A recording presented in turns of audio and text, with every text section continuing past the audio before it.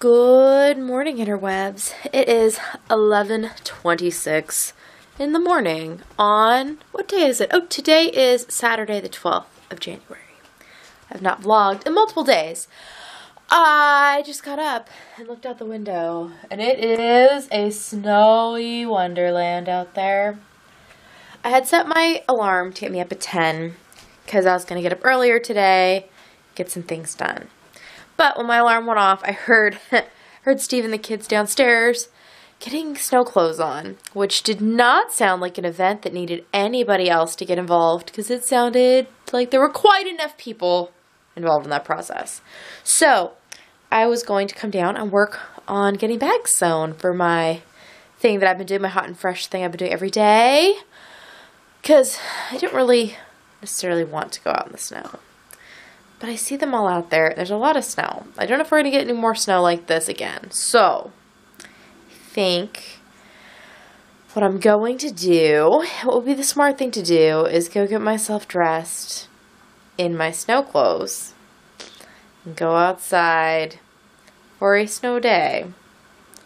Still, my brain does not does not necessarily want to be doing this, but I feel like Kendra in the future will be glad she did so, I'm going to do that, and I will probably run a snow day sale today. That is probably what I will do.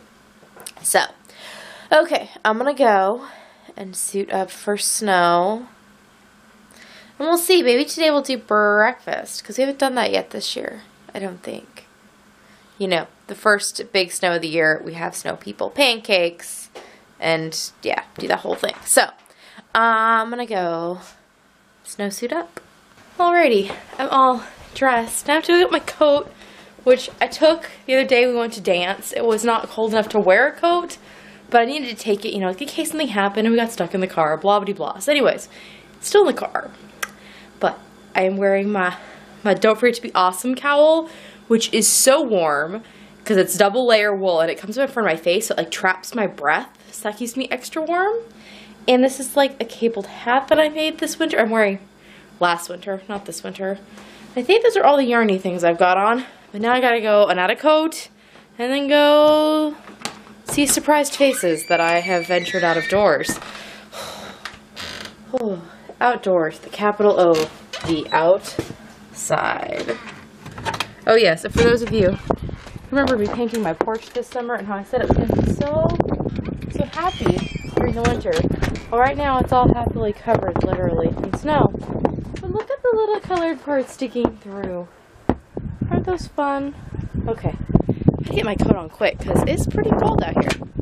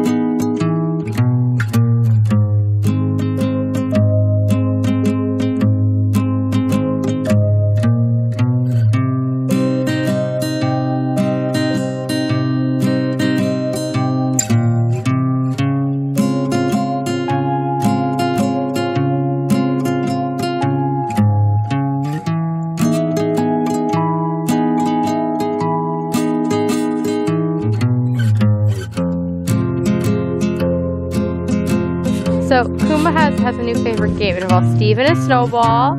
Okay, catch. You wanna do it again, Kuma? Okay, catch.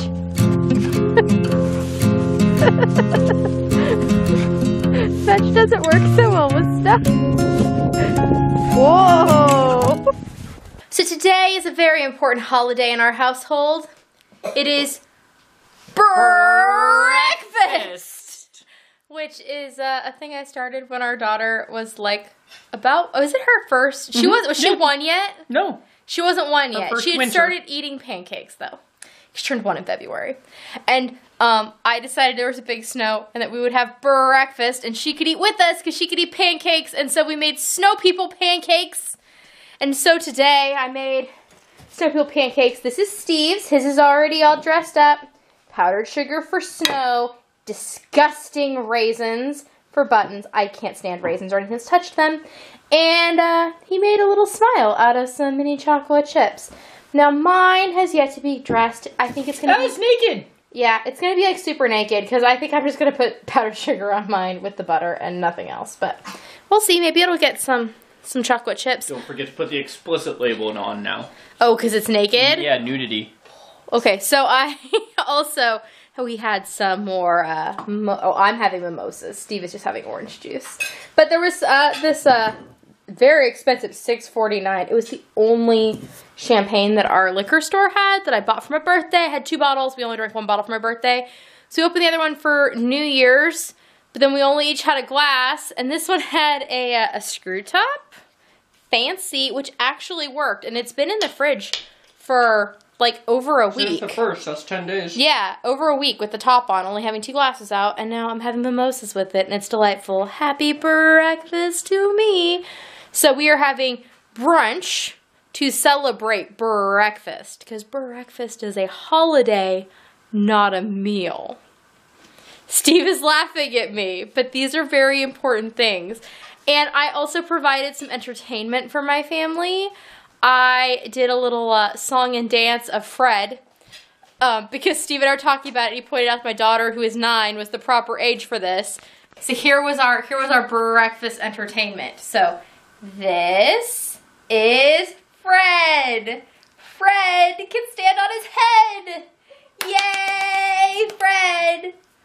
Uh oh, Fred's dead.